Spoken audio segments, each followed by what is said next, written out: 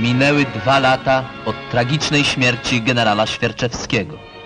Bohater walk o wolność Hiszpanii, jeden z organizatorów polskich sił zbrojnych w ZSRR, ukochany przez żołnierzy wychowawca odrodzonego Wojska Polskiego, dowódca drugiej armii, padł od skrytobójczych kul faszystowskich bandytów.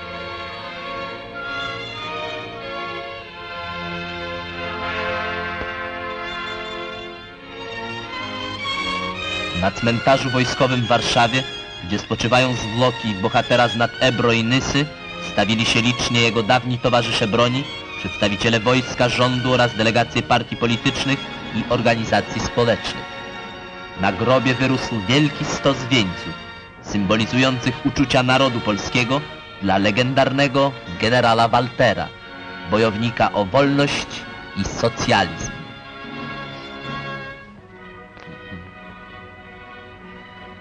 Doroczna sesja budżetowa Sejmu była poświęcona uchwaleniu preliminarza budżetowego i zadań Narodowego Planu Gospodarczego na rok 1949 oraz reformie wymiaru sprawiedliwości. Duże zainteresowanie wywołała odpowiedź ministra Modzelewskiego na interpelację w sprawie umowy repatriacyjnej z Francją. Minister stwierdził, że sprawa repatriacji robotników polskich z Francji jest tylko fragmentem stosunków polsko-francuskich pogarszających się stale wskutek polityki rządu francuskiego ulegającego naciskowi imperialistów amerykańskich.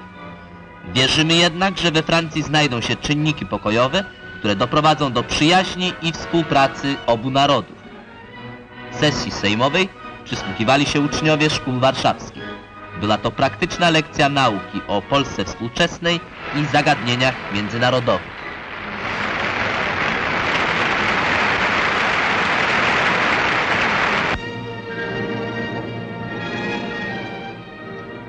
Całym kraju odbywają się wiece poświęcone deklaracji rządowej w sprawie unormowania stosunków między państwem a kościołem.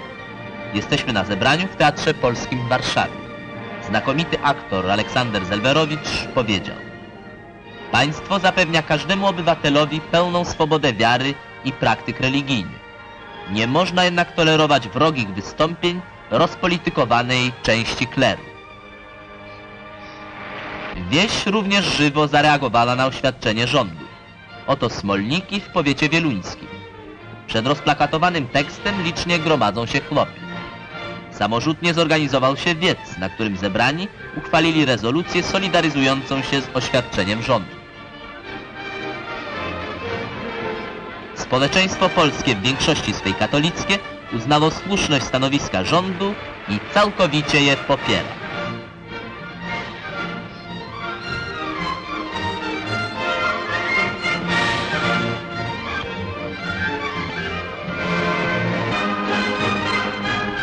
Codziennie rano w urzędzie pocztowym Udanin okręgu wrocławskiego listonosze wiejscy Marta Jakubowa i Michał Broszko ladują listy, paczki i gazety i udają się w drogę. Spragnieni nowin mieszkańcy okolicznych wsi znają dobrze godziny przybycia listonoszy i oczekują ich na progu swych domów. Nowy numer gromady przynosi ciekawe wiadomości. W krótkim czasie pismo zdołało zdobyć setki tysięcy czytelników. Listonosze wiejscy spełniają ważną rolę w rozpowszechnianiu kultury na wsi. Dzięki nim gazety i książki trafiają do najdalszych zakątków kraju. Oni werbują nowych prenumeratorów pism chłopskich.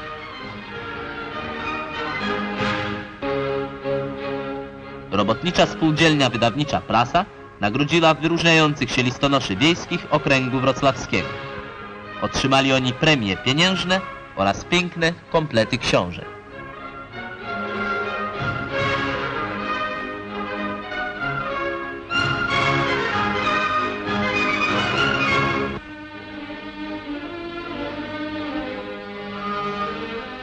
Całą zimę trwały prace przy budowie domów osiedla Mariensztackiego przy trasie WZ.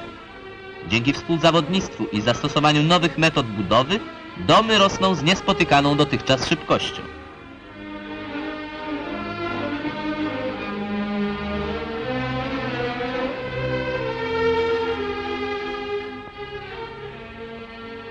Wszystkie te budynki są już zamieszkale. Panuje jednak spokój i cisza. Większość mieszkańców znajduje się przy pracy na trasie. Tu natomiast panuje wielki ruch.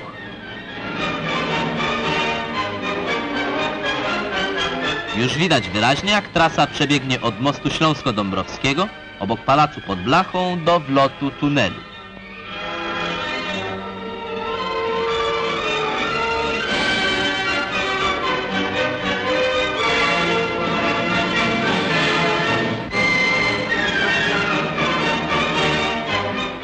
Szybko rosną odbudowywane zabytkowe kamieniczki na krakowskim przedmieściu.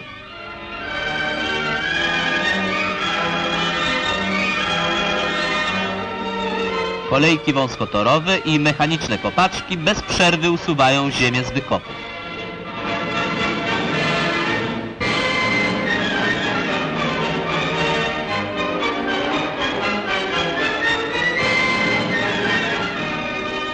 Budowniczowie trasy osiągają dużą oszczędność pracy i czasu dzięki samochodom wywrotkom typu ZIS, które zakupiliśmy w Związku Radzieckim.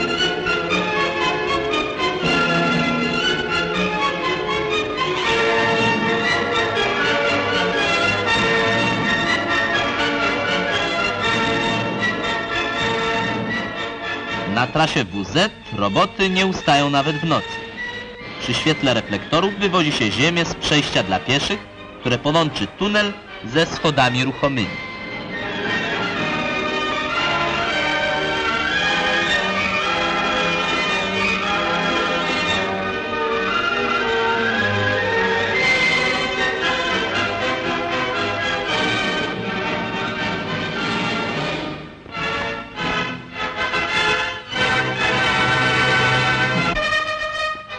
Policja amerykańska oczekuje przyjazdu niebezpiecznych gości. Na lotnisko nowojorskie przybywają przedstawiciele Związku Radzieckiego i państw demokracji ludowej na Kongres Intelektualistów Amerykańskich w obronie pokoju. Na czele delegacji radzieckiej stał znany pisarz Fadiejew. W skład delegacji polskiej weszli redaktor Kuźnicy Paweł Hoffman, prezes Związku Literatów Leon Kruczkowski oraz wybitny socjolog profesor Stanisław Ossowski. Mimo prób Departamentu Stanu storpedowania kongresu, obrady jego odbiły się szerokim echem w Stanach Zjednoczonych. Zdenerwowane tym władze amerykańskie nakazały delegatom zagranicznym opuszczenie USA natychmiast po zakończeniu kongresu. Ludowa Republika Rumuńska poświęca wiele uwagi opiece nad dziećmi. Przy fabrykach powstają żłobki, w których dzieci znajdują opiekę w czasie, gdy rodzice pracują. Oto żłobek przy wielkich zakładach włókienniczych w Bukareszcie. Starsze dzieci zajmują się naklejaniem wycinanek i ustawianiem budowli z klocków.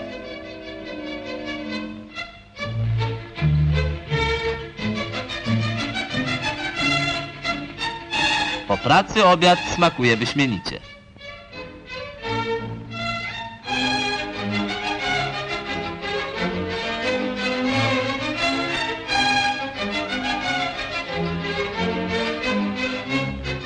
Najmłodsze zaczynają swój dzień w żłobku kąpielą.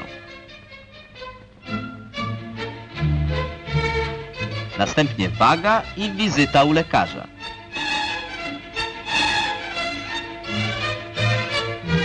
Po badaniu śniadanie, składające się na razie z butelki mleka.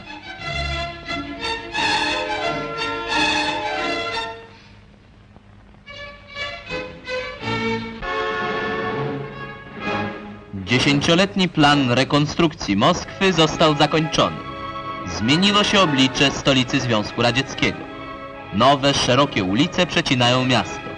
Trudno już dzisiaj odróżnić przedmieścia od centrum.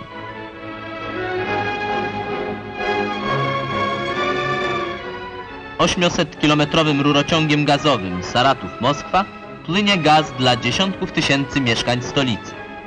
Brzegi rzeki Moskwy zostały uregulowane i zakute w granit. Nad brzeżami przebiegają nowe, szerokie ulice.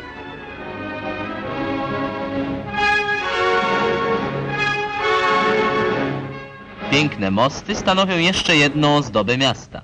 Są tak wysokie, że w okresie żeglugi przepływają pod nimi wielkie statki z Wolgi.